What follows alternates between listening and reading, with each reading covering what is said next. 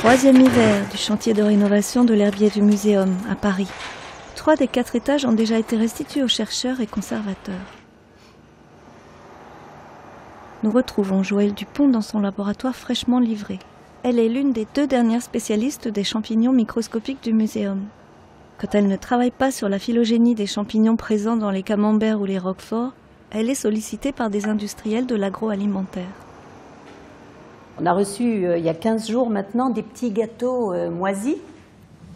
C'est quelque chose qu'on reçoit assez fréquemment. Hein. C'est vraiment euh, des contaminants récurrents hein, de, cette industrie agroalimentaire. Et donc, alors, ces petits gâteaux présentent vraiment une moisissure en surface, on la voit. Je vais vous montrer ça. Voilà les objets, les objets du délit. Donc notre but, nous, c'est d'identifier cette moisissure pour savoir euh, l'origine et éventuellement, évidemment, puisque c'est consommé, si, euh, si, si la, moisissure produit des toxines et si c'est dangereux pour le consommateur. On repique la moisissure sur un milieu de culture standard.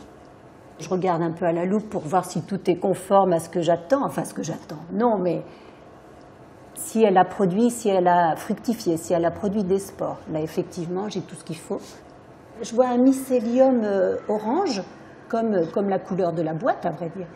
Et puis en surface, je vois des petites, euh, des sortes de petits pinceaux, des sortes de petites choses, des petites boules même, des petits pompons plutôt, euh, gris-vert. Et je vois aussi plein de petites boules jaunes qui sont tout à fait normales. Hein. C'est logique pour ce champignon. En fait, il y a deux stades dans le cycle de vie, il y a un stade asexué qui produit les petits pompons bleus, bleu, vert, gris, enfin bon. Et puis ensuite, il y a un stade sexué qui arrive euh, plus tard, c'est-à-dire au bout de 15 jours généralement, et qui produit ces petites boules jaunes que, que je vois à la loupe.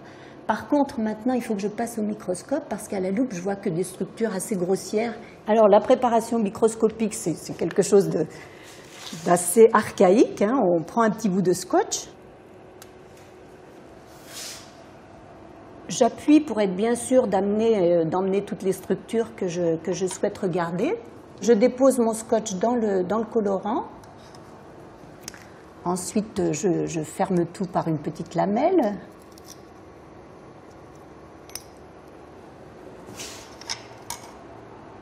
J'appuie pour écraser mes petites boules jaunes dont je viens de parler tout à l'heure, hein, pour, pour, essayer de faire sortir les spores qui sont contenus à l'intérieur.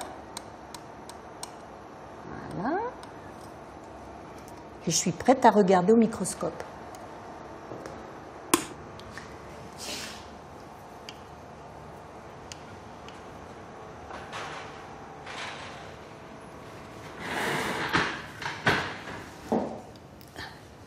Donc moi, à partir de là, j'ai de la littérature, bien sûr, une littérature classique, hein, des contaminants de l'alimentaire. Je vais vérifier mon intuition et je vais tout de suite voir à Eurocium. Parce que les Eurocium sont des, c'est un genre de, de moisissures qui euh, pousse particulièrement sur ces aliments sucrés. Ça pousse sur les confitures moisies, les confitures des grands-mères par exemple, euh, les, biscuits. Et euh, en fonction du nom euh, de l'espèce, je vais pouvoir regarder un petit peu les caractéristiques écologiques de ce champignon et voir surtout s'il produit ou non des toxines, parce que c'est ce qui intéresse notre client. Et de toute façon, euh, savoir aussi l'origine de cette moisissure pour essayer de la, détruire, d'empêcher en tout cas qu'elle se développe.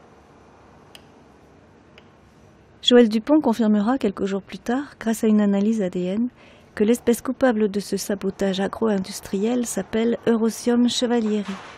D'autres demandes d'expertise suivront concernant des moisissures qui colonisent des territoires aussi variés que les traverses de métro, des tableaux de maîtres ou des fresques préhistoriques.